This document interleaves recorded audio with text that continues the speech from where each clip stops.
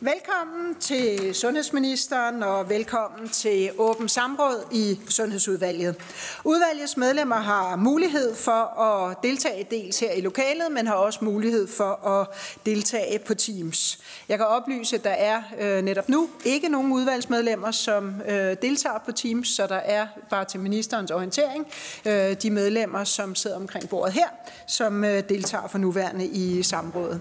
Samrådet her bliver tv-optaget, og det bliver også udsendt på øh, Folketingets tv-kanal, den der hedder www.ft.dk.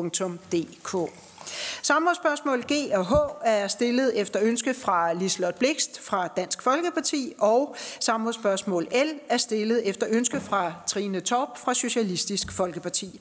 Og jeg vil indledningsvis læse samrådsspørgsmålene op. De lyder således. Samrådsspørgsmål G. Vil ministeren redegøre for, hvorfor psykologkapaciteten ikke er blevet udvidet i takt med, at psykologordningen er blevet udvidet og efterspørgselen er steget? Og hvad vil ministeren gøre for at sikre, at de midler, Folketinget sætter afsætter til psykologordningen, rent faktisk går til psykologbehandling af borgerne og ikke til at udfylde huller andre steder i de regionale budgetter? Og samrådsspørgsmål H lyder således. Kan ministeren redegøre for, hvorfor 67 procent af de kvalificerede psykologer, der ved første og anden ansøgningsrunde i 2020 søgte om at få et ydernummer, ifølge Dansk Psykologforening fik afslag, når vi samtidig kan se, at ventelisterne til psykologhjælp er ekstremt lange, og vil ministeren sørge for, at flere psykologydernummer over hele landet, så ventelisterne kan forkortes. Og samrådsspørgsmål L lyder således. Vil ministeren svare på følgende spørgsmål? Kolon. A. Hvordan vil ministeren nedbringe ventetiderne i psykologordningen, uden at det går ud over patienter, som ikke er dækket af ordningen, for eksempel personer, der lider af stress og begyndende spiseforstyrrelse? B. Hvorfor er ventetiden på psykologbehandling for unge med let til moderat angst og depression på 14,6 uger, og finder ministeren en sådan ventetid tilfredsstillende? C. Hvad er konsekvenserne af, at unge med let til moderat angst og depression venter 14,6 uger på behandling? D. Vil ministeren arbejde for, at regionerne opretter flere ydernumre til psykologer for at nedbringe ventetiderne? E. Vil ministeren sikre, at de midler, der er afsat til psykologordningen, bliver brugt til det, som de er afsat til? F. Hvad er ministerens kommentar til de ubrugte midler i psykologordningen, der udgjorde 33 millioner kroner i 2018, 47 millioner kroner i 2019 og 73 millioner kroner i 2020? Jeg kan oplyse, at samrådet her varer højst en time, og jeg vil starte med at give ordet til samrådsspørgerne, øh, Lislot Blikst, som vil øh, lægge for med den indledende kommentar, og herefter vil der blive mulighed for to opfølgende spørgsmål, et til Lislot Blikst og et til Trine Torp. Lislot Blikst, først værsgo. Mange tak, og tak fordi ministeren møder op til samrådet. Og jeg er glad for, at vi er to samrådsspørgere, som begge undrer os over, at, øh, at vi står i de, de her udfordringer, og at man ikke løser de problemer, der dukker op. Nu har vi jo i rigtig mange år øh, sat penge af til psykologordning. Øh, os, der har siddet med i, øh, i øh, forhandlinger på området, har jo været med til, at øh, først tog man en diagnose, så tog man en anden diagnose, så tog vi en aldersspredning fra det ene øh, og en aldersspredning til det andet, så man hele tiden lagde mere og mere på for at sikre, at vi fik flere og flere, der havde ret til at få behandling. Øh, og derfor var det også øh, rigtig godt, at, øh, at øh, SF de fik sat penge af til øh, gratis psykologordning til de unge også. Så det er jo kun noget, vi bifalder fra Dansk Folkeparti's side. Så vi tænker, yes, nu sker der noget på det her stakkels psykiatriområde, som faktisk har lidt i rigtig mange år. Og det er vi jo alle sammen enige om. Det ved jeg, ministeren også er enige om. Så er det, at øh, vi når her efter en corona, hvor vi faktisk også har haft Øh, kæmpe udfordringer med mange af dem, der har siddet ensomme derhjemme og socialt har fået det dårligere. Øh, og vi faktisk også ved, at der er en, en kæmpe stigning på børn-ungeområdet i psykiatrien, men også, at øh, andre har haft svært ved at få den hjælp, de har brug for.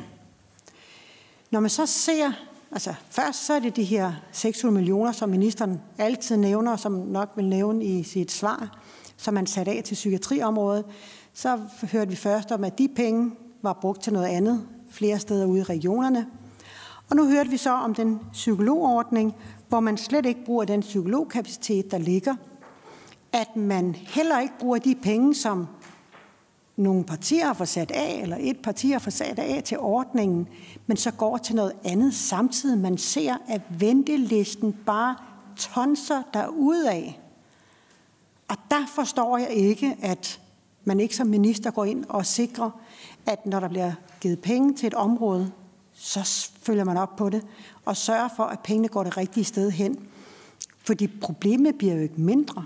Tværtimod, så bliver det større. Så jeg glæder mig til at høre, hvad ministeren har at sige til vores fantastisk gode spørgsmål fra begge sider. Og så håber jeg, at vi øh, går klogere herfra, og øh, også dem, der sidder derude og måtte lytte med, og gør sig forhåbningen om at kunne komme til en psykolog og få den hjælp, som mange af dem har brug for. Tak. Tak til Liselotte Blikst for at motivere øh, alle samrådsspørgsmål, og så vil jeg give ordet til sundhedsministeren, som jo har 10 minutter til at besvare de relativt øh, mange spørgsmål. Værsgo, minister. Ja, tak for det. Men det tænker jeg ikke at bruge. Jeg tænker, at vi kan gøre plads, give plads til spørgsmål i stedet for. Når vi giver penge til øh, at udvide psykologordningen, så er det fordi, vi vil godt have, at den skal udvides, og pengene skal dermed bruges. Derfor synes jeg ikke, det er tilfredsstillende, at psykologerne og regionerne, de to parter, der skal løse det her, at de ikke har kunnet finde ud af at løse det. Øh, der findes ikke nogen snuptag. Det er ikke sådan, at man bare skal, øh, for eksempel bare skal øh, have flere ydernumre. Det er spørgsmålene. Det er et godt spørgsmål. Men man kan jo se, for eksempel Region Sjælland, de har jo ikke kan ikke engang få besat, jeg tror, at det er 22 ydernumre, de ikke kan få besat i Region Sjælland. Så, så, det, så det er altså ikke kun det, der skal til. Men vi har fået, besked, fået at vide i regionerne, at der er, øh, hvor mange er det, 48 ekstra øh, aktive ydernumre ved årets øh, udgang. Så der er altså hovedstaden, Midtjylland og Syddanmark er i gang med at øge antallet af ydernummer nu her. Det synes jeg er positivt. Men bare for at sige, det er ikke det, der løser problemet. I hvert fald ikke alle steder, når Sjælland ikke kan få deres øh, ydernummer øh, besat. Øhm, så det handler altså også om andre ting, blandt andet også om, at psykologerne skal tage nogle flere af de her øh, grupper øh, ind. Det er også et andet element, og det har jeg respekt for, at de sidder de parter øh, og, og skal løse det her i. Men man skal bare altid være klar over, når man har det, det ansvar, og det er jo det, vi har givet i fællesskab til de, de to parter, så skal man jo ikke kun sidde og på hinanden. Man skal jo sidde og finde løsningerne sammen. Det er jo det, der er helt formålet med det. Og jeg synes ikke, det har været voldsomt imponerende, at de ikke kan finde de løsninger sammen. Så derfor har jeg indkaldt dem til et møde, hvor jeg forventer, at de sammen øh, forklarer mig, hvad de har tænkt sig at gøre, for at det her skal lykkes. Øhm, så vil jeg sige en lille, en meget, jeg ved, det er en lille bitte ting. Det er ikke for, jeg skal, jeg skal, jeg skal virkelig ikke sige sådan, nu siger jeg, at det er løst ved det her. Det er ikke løst ved det her. Men Øhm, I medierne har der været fremme, at, øh, det har været, at, at der har man selvfølgelig, det ved jeg godt, som arbejder journalister, her er den med længst ventetid, og det er så det, der bliver overskriften. Det ved jeg godt, sådan er det. Det er helt respekt for det. Jeg er jo selv uddannet journalist, jeg ved godt, hvordan det foregår. Øh, men det kan faktisk være lidt en jungle, når man får en henvisning i den her gruppe her, og siger, jamen, øh, hvor kan jeg finde en med et lidt kortere ventetid? Og der har vi faktisk nu fået øh, lavet om, ja, det er en lille ting, men det tror måske, det kan gøre en lille forskel for nogle af dem, så lavet om på øh, sundhed.dk, Øh, det er ikke der, vi har godt har det. Ja. Lavet om, således at der er en, øh, en nemmere guide til, hvordan man lige kan finde en, der har en kortere ventetid. Øh, sådan så det ikke er kun de maksimale ventetider, man ryger ind i. Men uanset hvad, så, øh, jamen så er det sådan, at vi har sendt for de penge. Jeg er enig med øh, spørgerne i, at det var godt, vi gjorde det. Der er mennesker, der har virkelig brug for at få øh, behandling og få øh, psykologbehandling, og, og de penge skal jo så ud og gøre gavn derude. Og øh, Øh, tak for at bringe spørgsmålet op. Jeg deler fuldstændig øh, øh, fokuset på, at det er vigtigt, og øh, det er altså vigtigt, at vi får, øh, vi får de parter, der nu sidder med ansvaret også om os til at gøre det. Og der er altså sket lidt nu her, og øh, jeg ser frem til, at der kommer til at ske meget mere, fordi øh, når vi sætter pengene af, så skal de også ud og arbejde til, altså, øh, altså, det er jo ikke, fordi vi har en, en, en det er jo ikke os, der er ærekære, eller også, men det er jo simpelthen, fordi der er nogle mennesker derude, som faktisk har behovet for det, som er vurderet endda af deres læge, der har behovet for det her. Og vi ved bare, hvis, øh, hvis det er sådan, at, at, øh, øh, at, at der er for lang ventetid, så ved vi, at de problemer, man kan tage i opløbet, de får lov til at vokse sig meget større. Øh, det gælder i særlig grad med nogle af de her unge mennesker, og derfor er det meget, meget vigtigt, at vi får, øh, får det her gjort. Jeg vil så også sige en ting til, og det er, jeg er ikke helt stensikker på, at den organisering, vi har, er den helt rigtige. Det er i hvert fald ikke noget, der lige tyder på, at det lige nu her er den rigtige. Det kan jo være, at de lykkes med at løse det, så har vi måske en ny situation. Men jeg har, vil også sige, at, at jeg sætter en analyse i gang af området, netop af organiseringen. Der er jo forskellige elementer. Når man taler med psykologerne, så siger de jo, at vi har det her loft, vi er bange for at gå over, så vi bliver modregnet. Øh, regionerne siger jo, men vi vil godt have, at de tager nogle flere øh, af den her gruppe øh, øh, af patienter. Så der er forskellige hensyn, der gør, at hver sin at hver part står lidt øh, i en øh, skyttegrav. Og det kan jo være, at der skal øh, nogle, nogle lidt andre strukturer til, men, men det er lidt for tidligt at sige nu. Den, den analyse vil jeg godt sætte i gang øh, for også at sikre, sikre at vi har, øh, at vi har den rigtige, det rigtige system. Fordi det er jo ikke, jeg er helt enig i, at problemet er alvorligt her. Det er jo et nyt problem her, der har været ventetid lang tid. Men når Folketinget så sætter flere penge af, så kunne man godt have et ønske om, at de faktisk også kommer ud at virke. Og det er det, der er formålet. Ja, det var lidt under tid. Men I kan jo så spørge, så kan vi jo følge op på den måde der. Tak for det, minister, og det vil vi gøre. Det bliver Lislot Blikst, som lægger for med det første opfølgende spørgsmål, og herefter er det Trine Torp. Lislot Blikst, værsgo. Jamen, øh, jeg er rigtig, rigtig glad for det, ministeren øh, svarer, og tak for det, at øh, man vil tage et møde med øh, danske regioner og, og psykologforeningerne, øh, og man vil lave en analyse, fordi det er jo vigtigt, fordi jeg mener også, at vi bliver nødt til at bruge den kapacitet, vi har, bedst muligt, for jeg er også bange for, at når vi nu har givet det her med, at alle nærmest kan få øh, gratis psykologhjælp, skubber vi så nogle af dem, der har det dårligst i, i baggrunden. Så det håber jeg også, man tager med i analysen. Men noget af det, jeg vil spørge, som jeg synes er meget vigtigt, fordi når jeg taler med øh, den danske psykologforening, øh, så siger de, at 60 procent af de psykologer, der søger ydernummer, får afslag, selvom de er kvalificerede. Så kan det godt være, at det ikke er Region Sjælland åbenbart, fordi de mangler. Men det kunne da være interessant at vide, hvor er det, de får afslag, og hvorfor får de afslag fra regionerne. Så det håber jeg. Og hvis ministeren ikke kan svare på det nu, tager det op med danske regioner for at svar på, hvad grundlaget er for det. Tak til Liselotte Blikst, ministeren. Værsgo. Ja, til hensyn til analysen, enig. Øh, det, det er klart, at målgruppen må, også, øh, må, øh, må selvfølgelig også være noget af det, vi skal analysere. Altså, øhm, øh, og det er jo øh, helt afgørende, at når vi udvider øh, målgruppen, hvad vi har gjort her, og finansieret det også, det var der en god grund til at gøre, men, men, men det ville være dårligt, hvis vi bruger, hvis vi så, det så betyder, at nogen bliver skubbet bagud. Øhm, man må sige, i forhold til det, Psykologforeningen siger, øh, jeg, helt, jeg har også set de tal der på 67 procent, det har jeg også fået dem fra, fra Psykologforeningen, og det er så rigtigt, det gælder i hvert fald ikke så ikke alle regioner. Nu kommer der så flere øh, ydernumre, men hvis man ser på antallet af ydernumre over de seneste faktisk flere år, så er det, der må næsten have et andet sted, jeg mener, jeg så et, et schema med, at de faktisk, det var på næsten samme niveau. Så det har ligget næsten stille. Næsten stille, ikke? Øh, vi kan sætte dem over til udvalget bagefter. Næsten stille igennem faktisk flere år. Så, så øh, øh, ja, 839, 837, 839. Så, så det det ligger meget, meget, øh, jeg har talt for de sidste fem år her, meget, meget stille. Og, og det vil sige, så det er nok en logisk, logisk konsekvens, jamen så er der mange, der får afslag. Øh, men men øh, så er det også spørgsmålet selvfølgelig til vores regioner. Nok ikke til Sjælland, fordi de kan ikke få dem fyldt, men de andre, hvorfor vil de så ikke få nogle flere? Nu har de så sagt til os, at det kommer så også 48 mere. Men, men øh, det, det siger de så modsat. Jo, men vi vil også gerne have, at psykologerne tager nogle flere. Og det er der, det er der ligesom, de, de støder mod hinanden, de, de interesser her. Og, og hvis de ikke kan løses på den organisering, vi så har, så må vi have en anden organisering, eller tilføje den i hvert fald et eller andet. Tak til ministeren. Så er det Trine Torp, Socialistisk Folkeparti. Værsgo. Tak for det, og jeg synes, det er fint, at ministeren tager initiativ til at holde et møde med, med parter, men jeg synes også, det er vigtigt at, at, at holde tingene adskilt, fordi der er noget af det, som handler om, at parterne skal blive enige om en praksisoverenskomst, men der er også noget, som ikke har noget med det at gøre. For eksempel har det ikke noget med praksisoverenskomsten, hvor mange ydernummer man, man, man laver. Det er jo op, op til regionerne fuldstændig selv, og, øh, Øh, hvor mange øh, psykologer de vil have ind i ordningen. Og der må jeg bare sige, at det er rigtigt, at så gør de det med 48 øh, ekstra psykologer, hvor 30 af dem er Region Hovedstaden, der står for dem. Og det er jo altså ikke, øh, det, det, det ændrer jo ikke på ventetiderne i alle de andre regioner. Øh, og sådan som jeg har forstået det, så er det også sådan, at Region Sjælland står med en særlig udfordring, fordi der er en del psykologer, der går på pension.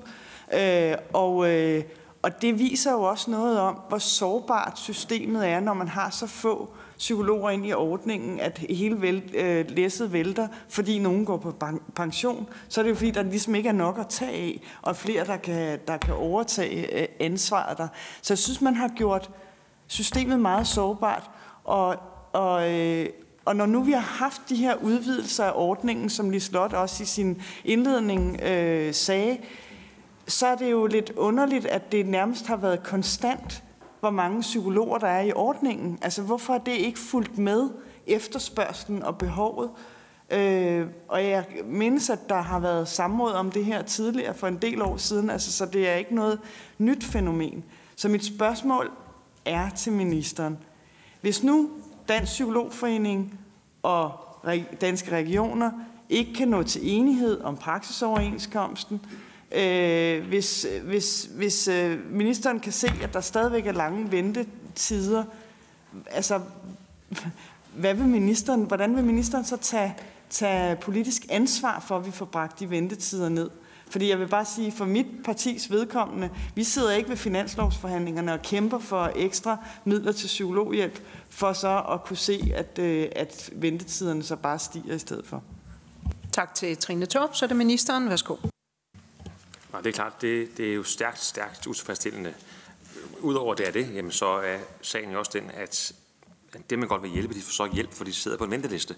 Og vi skal jo have dem ind, og jeg anerkender fuldt ud også, at jeg også minister før mig har, stået, har siddet i samråd formentlig og øh, adresseret den her problemstilling.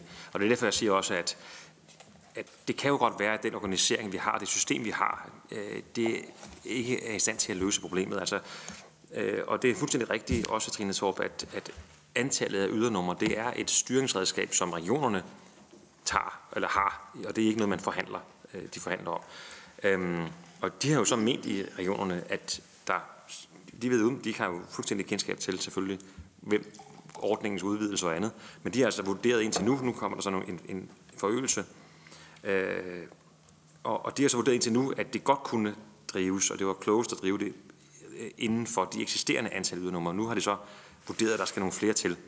Og den, øh, det vurdering, øh, det, det kan da godt i hvert fald følge logikken i, at det lyder klogt, men, men hvor mange der skal være, og, og, og hvordan de øh, vil sikre, at, at de også får dem, øh, får dem, får dem, får dem udfyldt, det, det er jo i hvert fald, altså det er jo en, ja, det er jo en styringsansvar, øh, og, og så vi har altså situationen, når der er to parter, der, der forhandler med hinanden, så har vi øh, en, den ene part, som også har det her styringsredskab, og øh, så har vi, det er så regionerne, så har vi den anden part, som er psykologerne, hvor hver, eneste, hver enkelt psykolog jo kan vælge, når man har et ydernummer, hvor mange vil man så tage? Hvor, mange, hvor meget af sin psykologpraksis skal bruges til ydernummer? Og der er udfordringen jo så der, siger de jo, når man hører, hvad de, øh, læser, hvad de siger, hører, hvad de siger, jamen så er udfordringen der, at de vil være nervøs for at tage for mange ind. Af den grund, så øhm, kan, de, kan de måske støde gennem øh, loftet. Helt generelt, loftet er så defineret på en rimelig snørklet måde, fordi det er, som jeg tror, I var inde på i starten, den her ordning er udvidet af rigtig mange forskellige omgange, og noget er inden for loftet, andet er uden for loftet. Det vi taler om nu her er faktisk uden for loftet. Men, men det, er, det er temmelig kompliceret. Altså det er sådan en rimelig knopskydnings. Og alle udvidelser har jo været med de bedste intentioner. Det er der jo ingen tvivl om. Øh, øh, som jeg har støttet også. Jeg tror, vi har også, jeg har også selv stemt for rigtig meget. Måske nok alle sammen faktisk. Øh, og det tror jeg næsten alle har. Så det er slet ikke for det. Men, men så er der altså noget galt, hvis det, hvis det ikke er sådan, det kan, det kan lade sig gøre.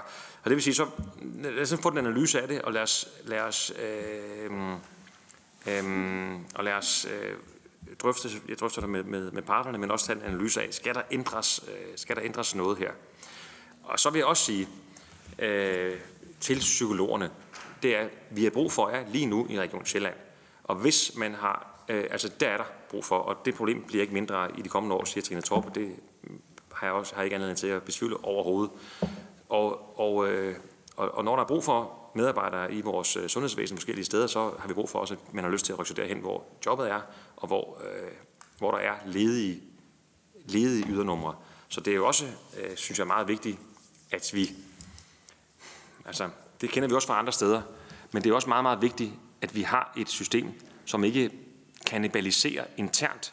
Altså danske regioner skal jo sidde også og få det her til at virke, også de steder i Region Sjælland lige nu, det kan være andre regioner senere hen, som har svært ved at få en psykolog til deres borgere, til de unge mennesker, som lider af præcis de samme øh, ting, øh, øh som, som er altså angst og andet, som, som er det, som giver adgang til en psykolog.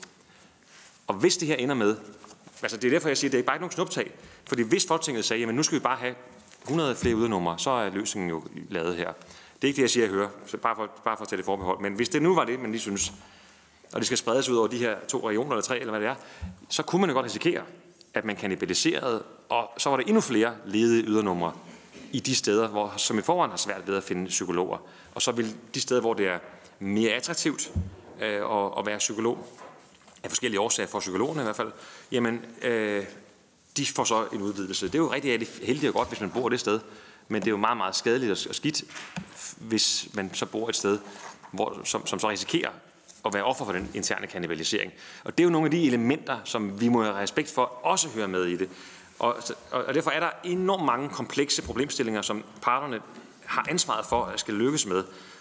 Og øh, det er jo fint, at man holder fast i noget og er bange for at slippe noget løs, for så kan der ske nogle andre dårlige ting. Men problemet var, at de ikke løser det nu her. Så, så øh, der er gode grunde til, hvorfor de holder fast i forskellige, øh, i, i forskellige ting. Men de får det bare ikke løst. Og det er det, jeg siger.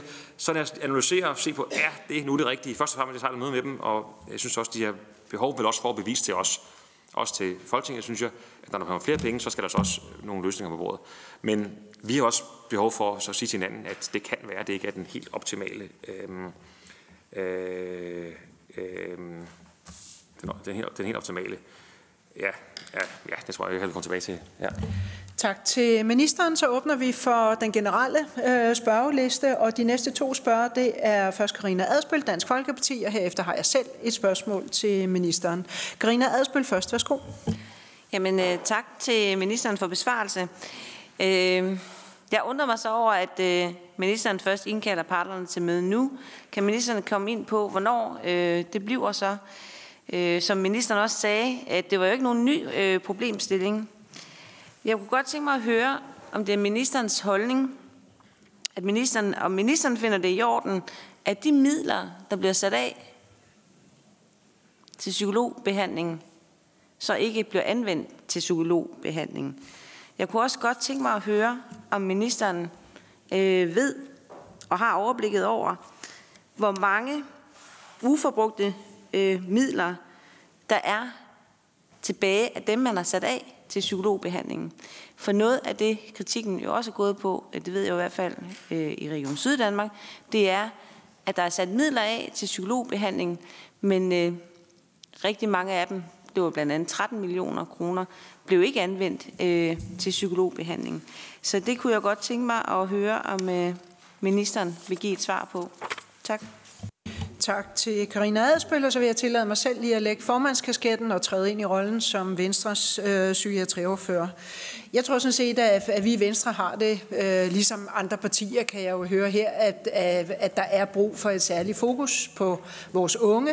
Øh, og derfor er det sådan set rigtig godt, at, øh, hvad skal man sige, at man kigger på, hvad kan man gøre for at, at hjælpe de mange unge, som mistrives eller har en, en regulær øh, diagnose. Ministeren nævner af flere omgange, jeg kan måske lige starte med at sige, at jeg har fire spørgsmål til ministeren, øh, bare så han får noteret ned.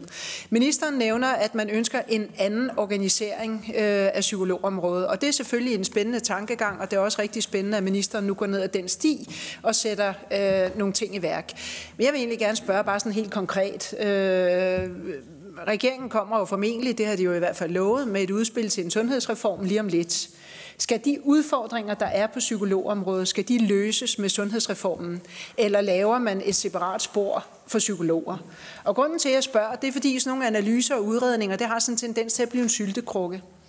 Og jeg må bare sige, når man sætter et initiativ i gang, stiller de unge i udsigt, at nu kan de få psykologhjælp, og man ikke samtidig sikrer, at der rent faktisk også er den nødvendige kapacitet, så synes jeg måske nok, at man skylder de her unge mennesker, hvis man så erkender, at der er noget helt galt her, at man ikke laver en syltekrukke, men at man rent faktisk rykker på det. Så jeg vil bare spørge, om, om det her det er noget, der skal løses i sundhedsreformen. Og jeg har jo noteret mig i regeringens lovkatalog, at det ser ud som om, at det er i anden halvdel af februar, at man skal behandle øh, lovmæssigt øh, sundhedsreformen, hvis jeg ikke har læst øh, helt galt. Men det kan ministeren jo øh, korrekse mig, hvis jeg har misforstået det. Så vil jeg gerne spørge i forhold til det her med ventetid, som, øh, som, jeg, som jeg kunne forstå, ministeren nævnte, at at man har taget nogle nye initiativer, som man som ung menneske kan se, hvor der er kort ventetid. Er det så ventetid inden for egen region, eller er det generelt ventetid? For det, altså, det dur jo ikke, at man bor i Tisvilde, og så får man oplyst, hvad ventetiden er i Tønder. Altså, det, jeg håber, det er inden for, for eget lokalområde. Det kan ministeren jo også lige præcisere. Mødet med, øh, med psykologerne og regionerne, Karina Adspøl var lidt inde på det. Jeg vil gerne vide, om ministeren vil orientere udvalget om konklusionerne på det møde. Altså, hvor er det, man så rykker hen på baggrund af det møde. Øhm, og så vil jeg også gerne spørge, ministeren svarede sådan set ikke, synes jeg, i hans oplæg øh, på de samrådsspørgsmål, der er stillet, for så vidt angår, hvordan vil ministeren sikre, at de midler, der er sat af til psykologhjælp, også bliver brugt til psykologhjælp. Og nu nævnte min kollega her tidligere, at pengene jo bliver brugt til noget andet. Man kunne nævne ministerens kollega i Region Hovedstaden, hvor man jo valgte at bruge pengene til psykiatrien til afdrag på leasinggæld. Og det kan man jo godt synes er en lidt bizarre øh, prioritering, når man sætter midler af til psykiatrien, at de så ikke øh, går til det. Så vil ministeren ikke lige præcisere, hvordan vil ministeren sikre, at når man sætter målrettede midler af til psykiatrien, psykologhjælp, så går de også til det, som regeringen og regeringens støttepartier har bestemt. Så får ministeren ordet. Værsgo.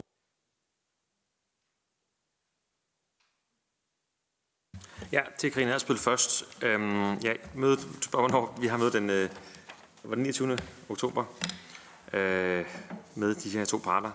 Og Øhm, så bliver der også spurgt om, øh, om, øhm, om beløbets størrelse. Det er altså nogle ikke helt nye tal. Øh, vi kan lige, sende, vi kan lige få fat i det helt. Altså det tal, jeg har her, det er, det, det er tal, det seneste tal fra 2020, som er 73,04 millioner kroner, som er ubrugte. 73,04 millioner. Øh, og vi har ikke modtaget nu de nyeste tal, men øh, ja, det kommer, det kommer med noget forsinkelse. Så øh, det, det er det tal, øh, der er. Det synes jeg viser i sig selv jo. Der, det er ikke nyt, at der er ubrugte midler, men det er øh, en klar stigning. Øh, en klar stigning. Og jamen, øh, det andet, jeg lige vil sige til det spørgsmål svar til Karina Adspøl, det er jo, at øh, øh, nu har vi jo, altså det er vel også en af grundene til, altså nu, jeg, jeg tror meget på, at det er en klar gevinst for nu er det unge mennesker, vi taler om her, til det her samråd her, at unge mennesker, der, der har ondt i livet og har problemer på den ene eller anden måde, at, de, øh, at den her karakter, at man får et tilbud om at få noget hjælp fra en psykolog.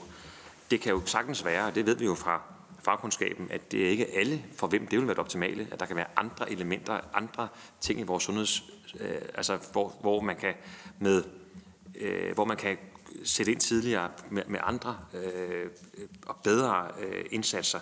Og det er jo noget af det, som 10-årsplanen for psykiatri skal beskrive, øh, og som jeg glæder mig til at få det faglige oplæg fra og drøfte med partierne om. Men, men det kan jo sagtens, øh, øh, altså det kan, det kan jo sagtens være, at der er, øh, at der er et, et tilbud, som kan være ved siden af, eller som kan for nogens vedkommende øh, være, være, være, være til gavn. Og det, det kan jo godt være. Øh, det skal i givet fald jo ikke være så, fordi at vi ikke kan lykkes med at få pengene ud og bruges her, men det skal være, fordi det er bedre for den enkelte unge, men, det enkelte unge menneske, vi taler om her. Og det vil sige, så det er jo noget, som det faglige oplæg må beskrive for os, og det er noget, som vi så må drøfte med hinanden, øh, hvordan det så vil kunne, øh, kunne udføres i praksis. Um, og jeg kan også spørge også, hvorfor vi først inviteret til det her møde nu, siger Christian Asbøl. Altså problemet er, det, det er ikke et nyt problem, der er her. Jeg mener, det vi kan se nu, det er, at udfordring, problemet er et, er en, er en karakter, hvor man siger, at det løser altså ikke sig selv. Så forsøger jeg jo at, øh, og, øh, om ikke jeg kan få det um, at, at, at, øh, få det løst. Skal, altså mig der? Nå. Ja. Øhm, at, at, at, at, få det løst ved at få de her parter ind med bordet her. Øh, bemærk her, det er jo parter i en overenskomstmodel, og det vil sige, øh, når jeg konstaterer noget, der ikke virker, så må vi prøve at finde ud af, hvad, hvad gør vi så ved det? Men, men øh, det er jo ikke fordi, at jeg skal sidde og hoppe op på skødet af regionerne, eller på skødet af, psykiat, af psykologerne, og, og, øh, og så leger vi dem. Altså, sådan fungerer det selvfølgelig ikke i den model, vi har, vi har vi arbejder under i, i Danmark. Der er der en model, og det er jo en overenskomstmodel, som, hvor man laver en overenskomst, og den, øh, det er jo det, som, som, øh, som jeg så har konstateret, der er nogle udfordringer med på det her område. Så øh, spørger Janne Heitmann til øh, en anden organisering. Nå ja, til hvis, hvis øh, den analyse, vi så laver, og det møde, vi laver, ligesom er for, hvis møderne er for ufrugtbare, og hvis øh, vi konstaterer, at man ikke rigtig har øh, en løsning i sigte. Og vi, analysen, øh, jeg nu har sagt, der, der bliver lavet, viser, at der er nogle øh, ændringer, som bør laves, jamen så er det jo ændringer op til en overenskomst. Altså så er det, så er det, så er det jo en ændring, som i givet fald skal kunne indgå i den, ja, den næste overenskomstforhandling. Øh, den begynder jo så småt øh, vel næste år. Så øh, det kan jo ikke afvises, at der skal lovændring til, men det er ikke det, jeg ser for mig, at det vil være nødvendigt. Så det er ikke noget, som jeg kan se som en nødvendig ting i forhold til noget, noget lovgivning på nuværende tidspunkt, men det er altså med mange forbehold, for vi har ikke lavet den endnu overhovedet. Men som udgangspunkt, så er det i hvert fald oplagt, at en sådan analyse vil skulle spille ind i øh, de kommende overenskomstforhandlinger. Det begynder som sagt så småt øh, næste år. Øhm, og det er man heller ikke, jo ikke en del af sundhedsreformen. Øhm, så spørger øh, Jan Hartmann også om ventetid. Og ja, der kan jeg så glæde Jan Hartmann med, at, at det er sådan, at man kan søge på regioner, faktisk også kommune. Jeg mener faktisk også måske endnu længere ned på kommune i hvert fald. Okay, i hvert fald ved jeg, at kommune kan få bekræftet her. Så det er ikke sådan, man er i, i hvad var det, Tønder eller et andet sted, og man skulle, det er ikke sådan, man kan sagtens søge ind på regionsmæssigt og kommunemæssigt. Det hjælper jo ikke, hvis der ikke er nogen at få. Det er vi ikke med på, men det kan måske være med til, at man ikke, at, man, at det er lidt for, at det er lidt for uoverskueligt, øh, øh, øh det her. Og så spørger, bliver også spurgt, om jeg vil øh, orientere udvalget om, øh, når mødet nu er afholdt, og, og, og øh, om der kommer noget ud af det. Om, hvad var så, ja, det skal jeg nok orientere om, helt sikkert. Øhm, og, øh, og så spurgte spurgt til sidst her, hvordan sikrer vi, at de her midler også kommer til at gå gang? Det er jo præcis det hele arbejdet. Det er det, vi sidder for i dag. Det er jo det, hele arbejdet skal handle om. Det er, at det er derfor, vi indkalder dem, og det er derfor, eller jeg indkalder dem, og det er derfor, øh, vi øh, må øh, øh, jo se, hvordan de, øh, altså, hvad de så, øh, øh, hvordan de så reagerer, og hvad de har så øh, tænkt over. Jeg kan konstatere i hvert fald, at regionerne har sagt, okay, vi har nogle ekstra, yder, ekstra aktive ydernumre, og det, det er, jo, er jo fint her, men det er jo stadigvæk sådan, at, at vores psykologer, de af vores psykologer, som er ydernummerpsykologer, de, det bliver jo ikke sådan, det bliver også sådan med fremover, at, at, at de tager jo også som hovedregel jo også private patienter med. Det kan være nogen, der har en, en sundhedsforsikring, det kan være en, en stressram, som ikke kan få tilskud efter psykologordningen. Øh, og det tager de også ind, og det er jo helt fint, men det er klart, jo mere du tager der, jo mindre tid bliver der så til de offentlige patienter, som du har dit ydernummer til.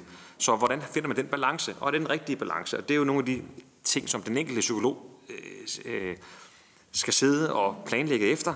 Øhm, men, men, men det valg, den enkelte psykolog tager, det er jo med til i det store billede at presse den eksisterende kapacitet, og altså dermed kan det risikere at være med til at øge ventelisterne. Så derfor, øh, altså, hvis vi har et system, hvor alle valg, der træffes, er kloge og er, er rigtig gode, godt velbegrundede, men, den stod, det, men på bundlinjen står der så, at vi får et problem, der bare vokser, så er der noget galt med det strukturen på det, og det er det, vi skal, øh, mener vi, vi er nødt til at, at, at, at, at kigge på. Og det er ikke, fordi jeg har en stor, stor, eller annoncerer nu, eller jeg har ikke andet, men nu annoncere en anden organisering. Det, jeg ville da helst ønske, at det kunne lade sig gøre. Jeg synes, det er generelt bedst, når parter, der, der har ansvaret for at drive sundhedsvæsenet, og for at, altså psykologerne, dem der arbejder med det, dem der er, det er da bedst, hvis de selv kan finde en løsning. Men, men øh, jeg må også sige, at hvis det ikke kan lade sig gøre, så må vi jo så se på organiseringen.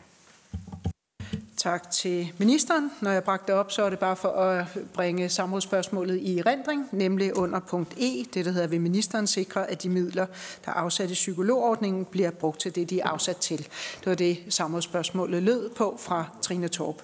De næste to spørgere, det er først Lislot Blikst fra Dansk Folkeparti, og herefter Per Larsen fra det Konservative Folkeparti. Lislot Blikst først, værsgo. Mange tak. Ministeren var selv lidt inde på noget af det, jeg vil spørge til. Det er fordi, øh, vi har jo, når man slår op på sundhed.dk, kan man se, hvad man kan få tilskud til, øh, til en psykolog. Og der er 12 dotter, og så er der de unge fra 18 til 24. Så hvis du er 25 og får stress, så kan du ikke få en henvisning. Øh, så skal du selv betale. Eller hvis du er 50 og får et traume, som ikke lige er et røveri eller øh, trafikulykke, så kan du heller ikke få en henvisning. Så der er jo nogle mennesker øh, på mange forskellige områder, som, som føler, at de har brug for psykologhjælp, måske også forebyggende, fordi mange af det her, det er jo, det er jo nogen, der faktisk har det svært allerede. Men øh, det, det har man svært ved at, at få. Så siger ministeren, at øh, man tager for mange af de her private hos dem, der har ydernummer. Så kunne det være interessant at høre, om ministeren mener, at når man så får et ydernummer, skal man så kun tage dem, der kommer igennem det offentlige system. Men vi har jo et problem, som vi har prøvet i talesæt igennem de seneste par år. Det er, at, øh, at man kan være psykolog på mange måder med forskellige autorisation. Og som forbruger ved du ikke, hvor de har taget deres uddannelse, og hvordan de er autoriseret. Vi har haft spørgsmål op, da vi havde øh, DR sendte det perfekte offer. Og øh, der ønskede vi jo, at øh, for det første hele psykologordningen kom ind under øh, sundhed, øh, sådan så man kunne sikre, at de var underlagt øh, Styrelsen for Patientsikkerhed osv. Og det håber jeg, at man kunne tage med i den her analyse, fordi at det er grunden til, at jeg som borger, hvis jeg vil have en øh, psykolog og selv betale, vælger en, der har et ydernummer, for så ved jeg, at der måske er lidt mere kontrol med en, der har fået et ydernummer, end med en, der ikke har. Fordi du kan jo øh, på mange måder få en psykolog øh, øh, titel. Så det kunne jeg godt tænke mig at spørge ministeren, om det er noget, man vil prøve at analysere, når man kigger på det.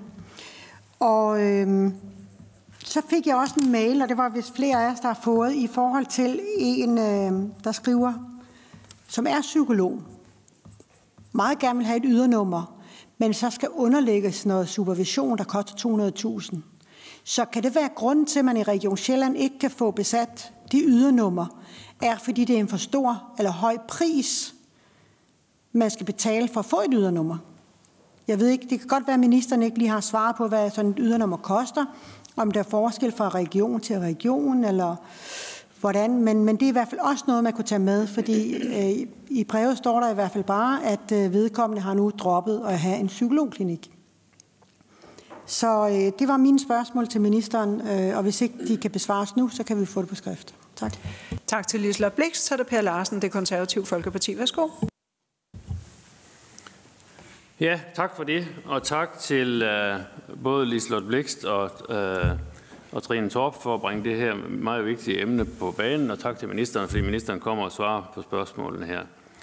Øh, det her det er jo et område, som virkelig skaber noget ulighed i sundhed, øh, på den måde, som, som vi er havnet i den her meget negative situation, hvor der ikke er kapacitet nok, fordi at det er jo det, det handler om. Og når man så øh, ved, at vi har en psykiatri, og det kalder jo også igen på en psykiatriplan, øh, hvor vi, vi får taget nogle store skridt i den rigtige retning og får det organiseret, sådan så at vi udnytter alle ressourcerne bedst muligt. Fordi vi har en psykiatri i øjeblikket, hvor der rent faktisk er patienter, som bliver udskrevet uden at være færdigbehandlet og som så havner i en situation, hvor de måske er nødt til at skal have en tid ved deres praktiserende læge. Det tager måske to eller tre uger, og så kan de måske risikere at blive henvist øh, til en psykolog, som så har en 14, 18, 20 ugers ventetid. Øh, det er jo en ganske uholdbar situation. Øh, så mit spørgsmål er jo, er det ikke en idé om, at vi skal, simpelthen skal sørge for at få uddannet nogle flere psykologer, sådan så at vi kan efterkomme den efterspørgsel, der er? Fordi det er jo ganske uholdbart, at vi øh, ikke har større kapacitet på området, når noget, når noget behov det er der. Og øh, så er jeg også lidt interesseret i at høre i forhold til det der med organisering, fordi nu nævner ministeren så noget i forhold til overenskomsten. Tænker man der at, at bede dem om, de psykologer om, som har et ydernummer, at de simpelthen skal, skal lave noget mere øh, for det offentlige øh, i de her ordninger? Fordi jeg synes jo nok, at man sådan ligesom har tilstræbt lidt, sådan som jeg forstår det, så den her ordning med de 18-24-årige med angst og depression, der må man jo prøve på at holde uden for rammen, sådan så man simpelthen har mulighed for at producere kan man sige, noget mere, uden at det går ud over ens omsætningsloft og sådan noget. Og det er jo sådan set udmærket, men hvis ikke kapaciteten den er der, så hjælper det jo ikke rigtig noget.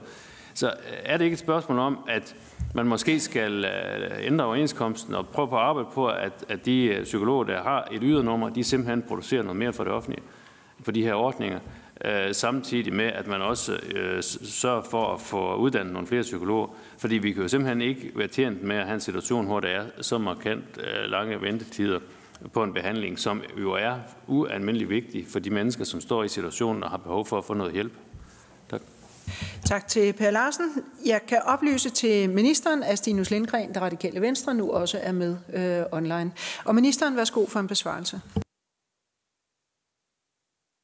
Ja, tak. Og det var først øh, uh, Liselotte Blikst, som uh, havde et par spørgsmål her, som jeg har noteret ned. Og det er han noget af det øh, indkredse sig på spørgsmålet om, ja, dels var det jo en beskrivelse af, at det er jo rigtigt, at, at der er jo masser af grupper af borgere, der er masser af livssituationer, hvor man må sige, at der er en høj grad af brugerbetaling. Øh, det er der jo.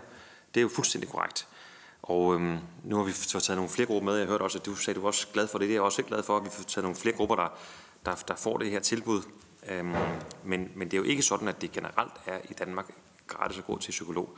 Der er nogen, der har, øh, der, der, hvis der er nogle helt bestemte, at du var inde på nogle af dem, øh, øh, ting, der sker i vores liv, øh, så får man et tilbud, ligesom hvis der er noget alders osv., men, men, øh, men, men, men øh, det er en fuldstændig korrekt beskrivelse af, af det øh, system, vi har i Danmark.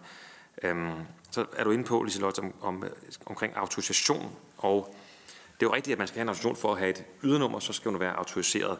Og så har vi jo haft den sag, som du lige kort øh, nævnte, for noget tid siden, som øh, var på mange måder en frygtelig, frygtelig sag, og som jo afstedkom, at der blev sat et arbejde i gang mellem Sundhedsministeriet og Socialministeriet, fordi de har jo en stor del af lige det her op, den, den her del af det, til at netop øh, vurdere, hvordan vi løser udfordringen med øh, autorisationer.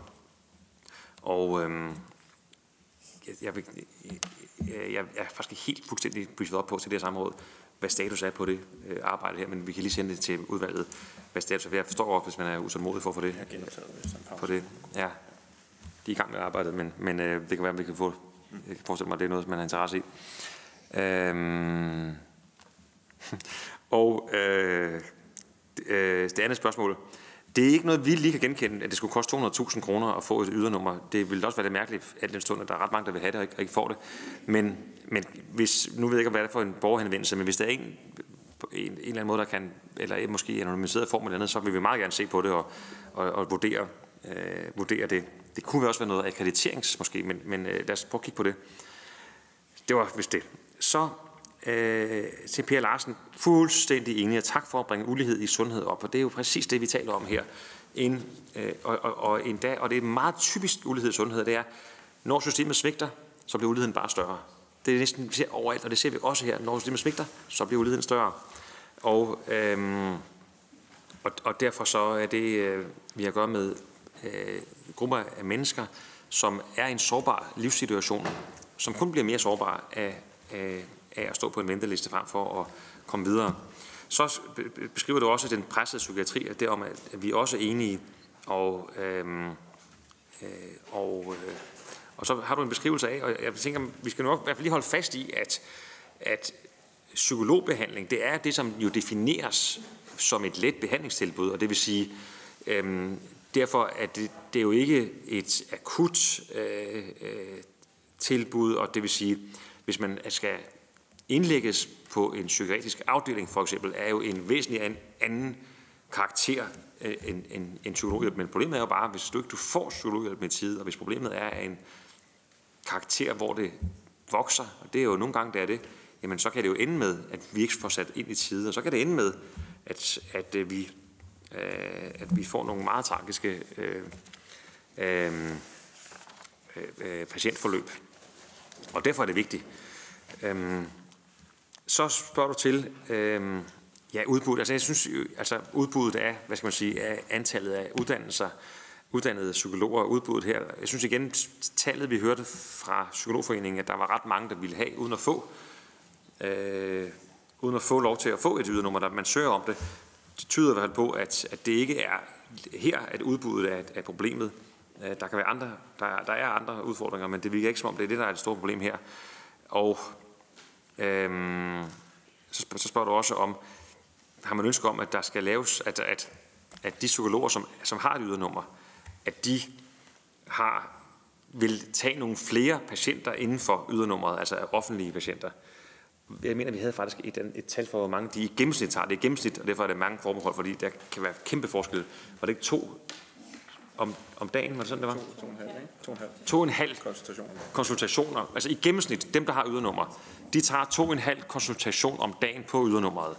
Øh, og det er rigtigt, det er uden for det loft, der ellers er for, når man tager, øh, tager patienten, hvor meget må man tjene. Øh, så det er uden for det. Det var man ellers formentlig jo lavet det udenfor, for at sikre, at det ikke gik at, at, at man tog nogle flere måske, øh, fordi det tager to og en halv om dagen. Og, og så resten af dagen øh, bruger de jo også på arbejde. Der bruger de blandt andet på at arbejde med at tage andre øh, patientgrupper. Vi har nogle, jeg har faktisk nogle, fået nogle flertal her, vores gode folk her. Det vi fik oplyst, i, at fra sidste år, der blev der gennemført øh, godt og vel 460.000 konsultationer i den samlede psykologordning. Og det er altså 543 konsultationer per psykolog. Det svarer til 2,5 konsultation per arbejdsdag per psykolog, hvis de arbejder 220 timer øh, årligt. Så, øh, øh, og, og, og man kan sige, det er danske regioner, der oplyser det til os. Og de har så vurderet det, og på den baggrund har de jo så vurderet, at der samlet set er kapacitet i ordningen til at tage flere offentlige patienter ind. Hvis vel at mærke, psykologerne vælger så at prioritere det. Det er jo så at prioritere dem over nogle andre, der så skulle over nogle andre psykologer. Øh, og der må man jo bare konstatere, at det har jo ikke været til det, det, det, det, det skøn eller den vurdering, der, der har været, har i hvert fald ikke været det, der, der, der løste problemet. Og vi kan også sige, jo konstatere nu, at der kommer i hvert fald 48 flere øh, ydernumre. Så øh, jeg, kan ikke, jeg synes, jeg kan ikke lige sige her, at det var en fejlvurdering fra regionerne. Det synes jeg vil være lidt for løst grundlag at sige det på. Men jeg kan bare sige, det er deres vurdering. Øh, det er i hvert fald ikke løst problemet, og nu kommer der flere. Og det, det som, jeg, som jeg sagde, det lyder umiddelbart klogt at få flere øh, ydernumre. Men igen, jeg var inde på tidligere, det er ikke for at gentage mig selv, der kan også være nogle, øh, der kan også være nogle, øh, nogle problemer ved det øh, hen ad vejen her. Øhm, ja. Tak til ministeren. Vi har 12 minutter tilbage af samrådet. Vi har fem spørgere på listen, og øh, samrådsspørger Trine Torp skal også lige nå at runde af. Så bare for at sige, hvis alle skal nå at have ordet, så er det korte spørgsmål, og også fra ministeren korte svar. Jeg forstår det sådan, så ministeren har en meget skarp bagkant kl. 15. Trine Torp, Socialistisk Folke, Folkeparti først, og herefter Karina Adspøl, Dansk Folkeparti. Værsgo. Jamen, så gemmer jeg med noget, noget mere prosa om det til, til afrundingen. Men jeg vil faktisk gerne høre, altså, øh, hvordan, hvordan kan vi have en ordning, hvor der er penge til at give psykologbehandling? Der er psykologer, der gerne vil yde behandlingen. Der er uforbrugte midler, og vi har en stigende ventetid. I 2013 var ventetiden på 6 uger. Dengang synes man også, det var et problem. I dag er vi altså, øh, har vi mere end fordoblet den ventetid. Altså, jeg, kan, jeg, jeg tror, alle uden for det her rum har svært ved at forstå, hvorfor er det, man ikke bare sørger for, at der kommer nogle flere psykologer ind i ordningen? Altså, og jeg, det er sådan et ret simpelt spørgsmål. Hvorfor er det ikke, hvorfor, og så kan vi godt sætte al den der analyse i gang, men hvorfor er det ikke det første, man tænker? Det er, at der skal være flere psykologer i ordningen. Tak til Trine Torp. Så er det Karina Adspøl. Værsgo. Tak for det. Ministeren sagde jo noget klogt, at han ikke vil hoppe op på skødet af parterne, og det synes jeg jo øh, er rigtig godt. Specielt det skal man jo passe på med i den her tid. Men jeg vil gerne høre i forhold til, om ministeren mener, at det er i orden, at midler, der bliver afsat til psykologhjælp, ikke bliver anvendt til psykologhjælp. Og så vil jeg godt følge op på det spørgsmål i forhold til uforbrugte midler, fordi som jeg forstod ministerens svar, det var, at det var 73,4 øh, uforbrugte midler. Øh, og der vil jeg godt høre sådan, øh, begrundelsen for det, om midlerne øh, så er anvendt på noget andet, eller om de er at forfinde i systemet øh, på en eller anden måde. Jeg håber, ministeren øh, forstår øh, spørgsmål. Også om, og hvad er ministerens holdning til øh, øh, det, den psykologforening øh, spørger, eller deres forslag om at øremærke midlerne. Det var nogle af de ting, øh, opklarende spørgsmål. Tak. Tak for det. Det var et par korte spørgsmål fra spørgerne, og jeg håber, at ministeren kan kvittere med de to korte svar, så vi når hele talerlisten. Værsgo. Ja, tak for det. Ja, men øh, til Trine Torps øh, spørgsmål her. Det tror jeg måske, du har ret i, at folk uden for det her rum vil synes, at så enkelt er det.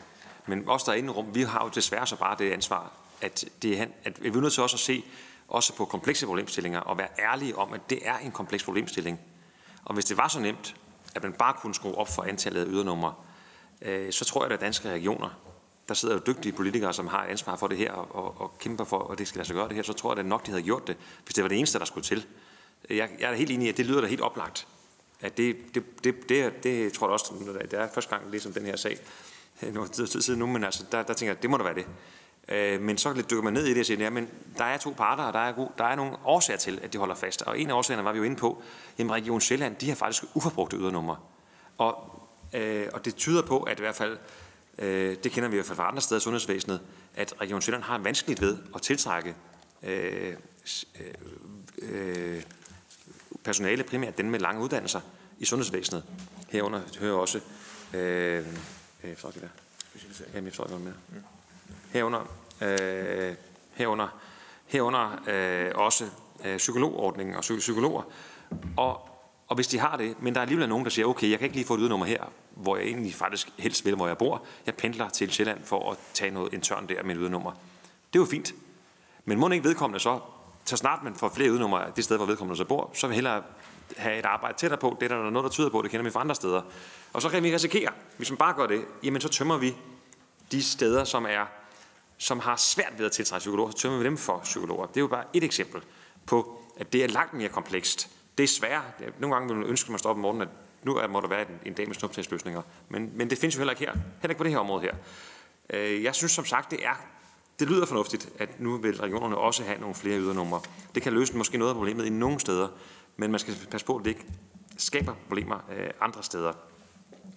Øhm, og øhm, øh, ja, så det er jo, så, så, så, så øh, vi må gøre, hvad vi overhovedet kan for at få det her, at, og der tror jeg, vi kan gøre mange ting, også mere end der er gjort tidligere, for at få det her øh, til at lykkes, og sørge for, at midlerne de kommer til at virke derude til gavn for de unge mennesker, som har brug for, og jo alle andre, men også her det er unge mennesker, vi taler om her, har brug for at få hjælp fra en psykolog til sted, de er i livet. Der er ingen, der har øns ønsker om, øh, at vi skal have lange, vi skal have forkortet de her ventelister. Det, det, det, og det er det, det handler om. Øh, så til Karina Adspøl. Øh, det er ikke sådan, at vi har taget midlerne tilbage igen fra, fra sundhedsvæsenet. Det er ikke sådan, at vi siger, øh, hvis vi ikke bruger dem, så tager vi dem til den store statskasse. Øh, det er sådan, at midlerne er øh, leveret til øh, sundhedsvæsenet, så de er altså i øh, sundhedsvæsenet. Øhm, og øhm, øh, ja, det, det er vel det. Så, så, så, så øh, vi har ikke man skal nok ind og læse hver enkelt regions øh, hvad hedder det, budgetter for at finde ud af, hvor de, hvor de bruger pengene osv., men, men øh, det er ikke sådan, at vi har lavet, vi har lavet en, en ordning, der hedder, at, at, øh, at staten øh, med sin klamme hånd hiver de penge øh, tilbage igen. Tak til ministeren. Som jeg nævnte før, så har ministeren udtrykt et ønske om, at vi slutter punktligt inden 15. Så jeg vil derfor foreslå, at øh, de spørgere, der er på spørgelisten, de eventuelt stiller deres spørgsmål skriftligt. Øh, efterfølgende så vil jeg give ordet nu til Trine Torp som samrådsspørger Socialistisk Folkeparti og bede om at afrunde samrådet. Værsgo. Ja, tak for det, og øh, tak for, øh, for øh, samrådet og for øh, de mange svar på et selvfølgelig komplekst område, men ikke desto mindre et område, hvor at jeg stadigvæk øh, sidder tilbage med, med, med det store spørgsmål, vil ministeren tage ansvar for at få bragt ventetiden ned? Øh, jeg hører, at ministeren gerne vil indkalde øh, Psykologforeningen og Danske Regioner øh, til et møde for at tale om den knast, de nu har med hinanden. Men der er jo også en, en lang række ting, som, som ministeren selv har indflydelse på, øh, som ikke har noget med praksisoverenskomsten at gøre.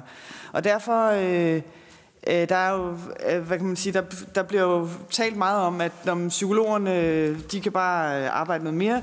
Øh, men der er jo altså også andre opgaver, som psykologerne øh, løfter, ikke bare for private klienter, men også for det offentlige. De har også andre opgaver end dem, der er knyttet til psykologordningen fra kommuner og regioner. Øh, men, men jeg vil, altså, er det sådan så, at ministeren ud over dialog og analyser har nogle nogle ting, som man faktisk kan gøre ved det her? Altså er det, er det øh, med i, i ministerens overvejelse og øh, argumentere for regionernes, øh, at de skal have flere ydernumre, bliver ved med at vende tilbage til de 48. Det er altså kun 30 af, eller de 30 af dem ligger i, øh, i Region Hovedstaden. De hjælper jo ikke alle de mange, som gerne vil til psykologer i Jylland. Øh, så, øh, så, så det er det ene, altså det her med flere ydernumre. Er det sådan, så ministeren gerne vil øremærke øh, pengene til ordningen, så vi er sikre på, at de rent faktisk bliver brugt til ordningen? Og det tredje, øh, er det sådan, så at vi er nødt til at tage det øh, værktøj i brug, at vi faktisk skal have en ventetidsgaranti på det her område, sådan så at, at, øh, at man ikke oplever den her stigning i ventetid. Fordi vi skal huske på, det er jo ikke kun de unge, og det er ikke kun dem med angst og depression det er også, der er også ventetid for alle dem, som bliver henvist på de andre henvisningskriterier. Øh, og de øh, stiger i takt med det her, fordi der igennem årene, selvom ordningen er udvidet, ikke har været en stigning i ydernummer. Øh, så, øh, så min afrunding skal være, hvis nu det ikke nytter noget med dialogen mellem de to parter, og øh, analysen den, øh, den øh, ligger og venter, imens at øh, ventetiderne stiger, hvad er det så, øh, ministeren har tænkt sig at gøre for at tage ansvar for at bringe ventetiderne ned? Tak for den afrunding. Nu har vi jo sådan en tradition, at vi ikke stiller nye spørgsmål til ministeren øh, i afrundingen. Øh, men jeg vil så alligevel med respekt for ministeren sige, hvis ministeren har lyst til at svare på de stillede spørgsmål, og han kan nå det, henset til tiden, så er ministeren øh, velkommen. Normalt så har vi jo ikke sådan en afrunding, hvor ministeren så kan svare, men jeg synes også, når man stiller tre-fire spørgsmål til ministeren, så er det også øh, unfair at bare sige farvel og tak til ministeren. Så hvis ministeren vil svare, så er han velkommen, men jeg har også respekt for, at ministeren har udtrykt udtrykkeligt, at vi skulle være færdige før 15. Så. Ja, tak. Tusind tak, formand, og tak for, ja, og tak for opfølgende spørgsmål her. Jamen, jeg tror ikke, vi bliver jo ikke færdige med det her, men, men øh, det her udtryk her, det er, at vi er virkelig oprigtige.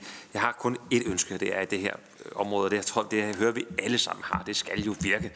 Og når vi sætter midler af, jamen, så vil vi jo også have de midler, skal ud og virke derude og, og gøre os brug af. Og, og, øh, og så må vi jo gøre, hvad der skal til. Og det, mm, og, og, og derfor så mødes jeg med de her parter, og sætter også analysen i gang for at finde ud af, at der er noget i vores setup, som ikke er, er, er korrekt. Fordi det er lidt sådan, man går rundt i en labyrint, og, og hver gang man møder en, op, en forhindring, så er der mange gode argumenter for, nej, det kan man jo ikke. Øh, hvad, der er også specialiseringsargumentet i øvrigt i forhold til ydernummer. Jamen, hvad bliver man så på, altså hvad, hvordan sikrer vi den høje specialitet, den høje, øh, den høje faglighed? Så der, så, så der er rigtig, rigtig mange argumenter. Jamen, hvad, hvorfor så er der ikke nogen flere? Jo, så siger du, jamen, man skal også som psykolog have andre opgaver. Fuldstændig enig. Øh, hvad så med det geografiske? Der har vi Region Sjælland mod øh, versus København, kan man sige. Så er der hele tiden øh, forhindringer, og, og der er gode grunde til, at, at, at det kan føles som en labyrint, men problemet er bare, hvis vi ikke også hæver sig os over labyrinten, og så får et overblik over det hele, jamen så er det jo de unge mennesker, der er rundt i den labyrint der, så det går jo ikke. Altså, vi er jo nødt til at hæve os op, og det er så øh, det, jeg vil tilkendegive. Det vil jeg meget, meget gerne gøre. Jeg vil også gerne øh, drøfte det selvfølgelig med Folketingets øh, partier, øh, når vi engang er, øh, i, er, er færdige med en analyse. Skulle den vise sig, at der er nogle lidt mere grundlæggende ting, der skal, der skal ændres. Tak til ministeren for at møde op i samrådet i dag. Det blev de sidste ord. Samrådet er hermed afsluttet. Jeg vil sige tak til samrådsspørgerne, tak til mine kollegaer, tak til jer, der mødte op her i dag og fulgte samrådet live, og tak til jer, der valgte at følge med hjemme fra stuerne.